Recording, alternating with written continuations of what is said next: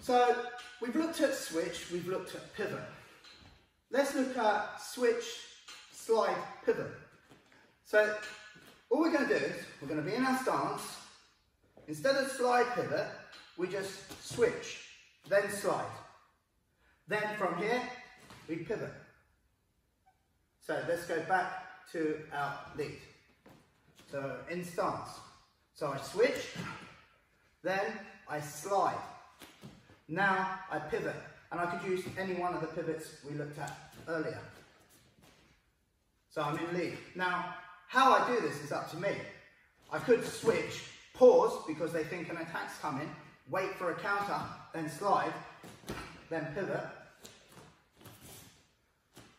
Or I could already be changing my angle of attack, so or of my defense. So as I switch, I'm already on slide. So it's already there at the same time. So now I could already be firing a punch before I pivot back. So let's put this together as a drill then. So I'm here, I'm going to go switch, slide, pivot, and then back. So this is, I'm keep repeating on the same side, but we can repeat on both sides. So I go switch, slide, pivot. Now, see, I've come back into my southpaw lead. So now I have to go switch. Now I'm in orthodox. Slide, pivot. Now I come back and I've got my left leg forward. Switch, slide, pivot. Now I've got my right leg forward.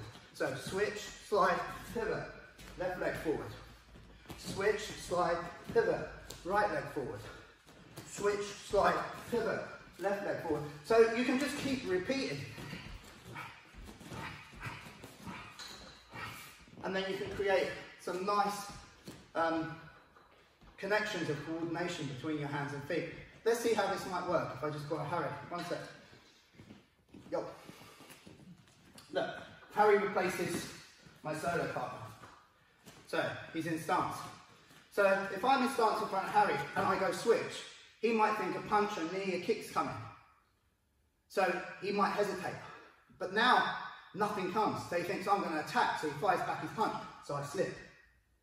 So I did a switch to a slip. Now I've got an outside line, boom. So now I've got a new line of attack with my pivot. So that could be the same thing. It's a way of creating um, unpredictability. So I'm in stance, I'm on southpaw lead. I switch. Harry thinks something's coming, it doesn't. Now he fires his punch, and then what? I've split. Now I've got a new line of attack, because all these weapons are over here. So, thanks man. Yeah, use your switch, your slide, and your pivot. It's a really great drill and fantastic to practice.